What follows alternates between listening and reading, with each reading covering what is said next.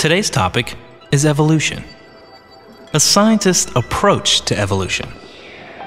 An approach where evidence is examined, and hypotheses formed, and predictions made and tested.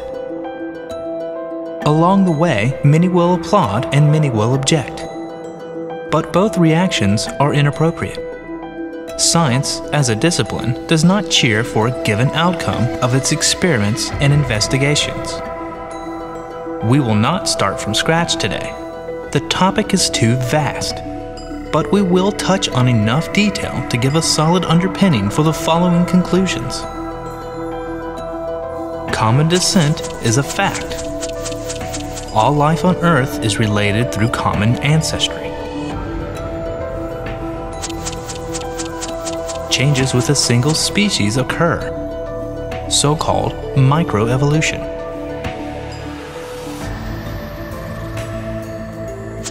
Species themselves come and go, so called macroevolution.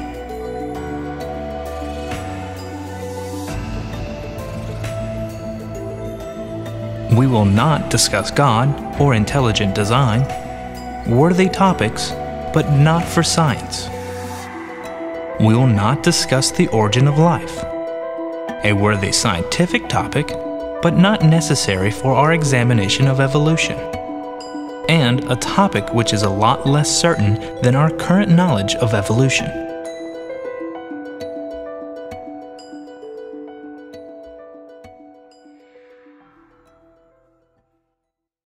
Universal common descent is the concept that every living thing on Earth is related to every other living thing on Earth, genealogically, genetically related. All modern organisms are descended from one original species. And while in its simplest form, there's a genetic linear progression that branches and forms a tree like pattern, common descent is not restricted to this linear pattern. That is, different species might recombine and generate hybrids. Or genetic material may cross from symbiont to host. Or perhaps by man's own hand, genetic material may be implanted wholesale in another species. None of this changes the fact that every living thing on Earth is related to every other living thing on Earth. A common misconception is that some modern species are descended from other modern species. This is rarely the case. Instead, closely related modern species evolved from a common ancestor. That is neither one nor the other. Humans did not come from chimps. Both humans and chimps came from a creature that had more primitive features than either modern humans or modern chimps. If it is to be called science, it must be testable. And for almost 150 years, the research community has done every test imaginable to examine evolution and common descent. And for 150 years, not a single test has ever failed to validate that all life on Earth comes from one common ancestor. Here are just a few of the prestigious scientific organizations that accept this as proven fact. Check it out.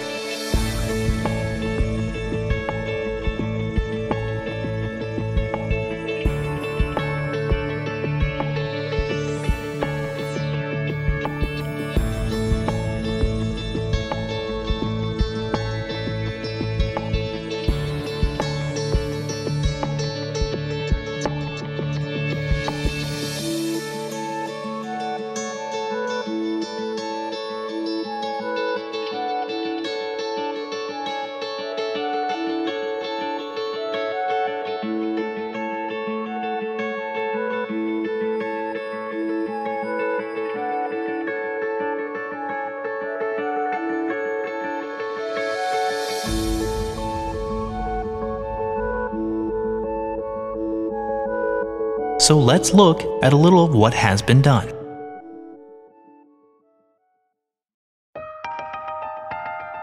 When you look at a phylogenetic tree of life diagram, derived from the idea of common descent, you immediately notice the pattern of groups within groups.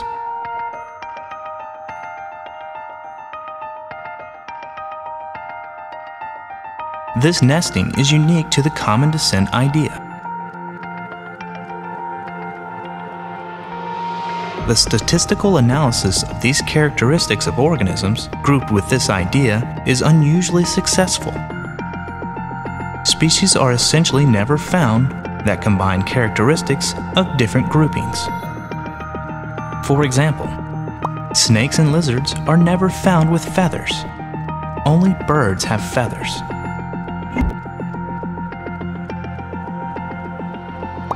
Birds and crocodiles are never found with differentiated teeth.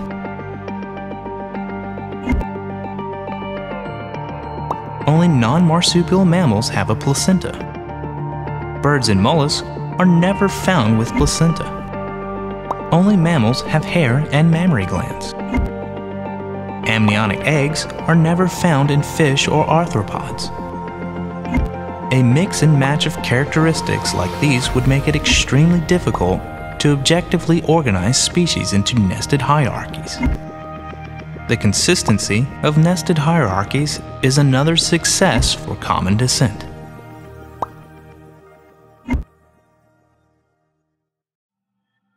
Common descent requires that fossils exhibit a succession of forms from the earliest to the latest. There are many examples, but we will show just a few. Since birds evolved from dinosaurs, we expect to find reptile-like fossils with feathers, bird-like fossils with teeth, or bird-like fossils with long reptilian tails. And in fact, we have found very complete sets of reptile to bird transitional fossils there are no morphological gaps. All have the expected possible shapes and forms.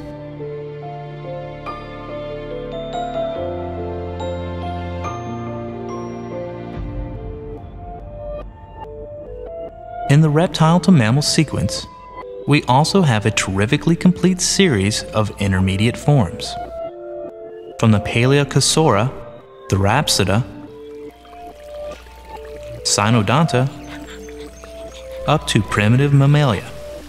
The fossils reveal that mammals gradually evolved from a reptile ancestor. It is worthwhile to pause here and examine a type of change that is often mentioned as impossible. It appears that two of the bones in the middle ear of mammals correspond to two bones that are in the jaw structure of reptiles. The green and red bones in these diagrams are the bones in question. And if we look at the developing fetus, sure enough, two developing bones in the reptile head become part of the jaw, while the corresponding bones in the mammal fetus become part of the middle ear. How can jaw bones evolve to become middle ear bones? The fossil record is now so thorough, including a complete skull of Hadrocodium wui and cranial and jaw material from Repenomamus and Gobiconodon. We can see the progression as it happened.